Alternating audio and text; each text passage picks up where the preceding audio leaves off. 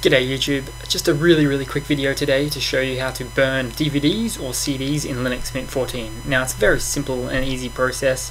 You can use the default applications when you actually install Linux Mint onto your uh, computer. Now all you have to do is go to the applications menu and hunt down uh, it is called, what is it? Sound, go to sound and video and there we go, Brasero Disk Burner, the default CD and DVD burning application. So yeah, just click on that one. Let that puppy load for a second.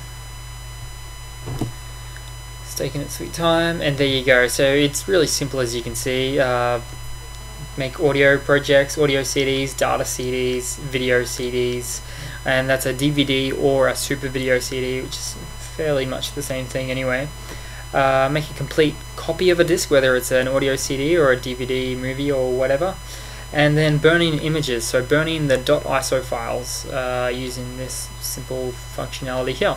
So that's pretty much it in a nutshell guys, that is the easy, simple, straightforward way how to burn CDs and DVDs in Linux Mint. Cheers, hope you've enjoyed. Please subscribe.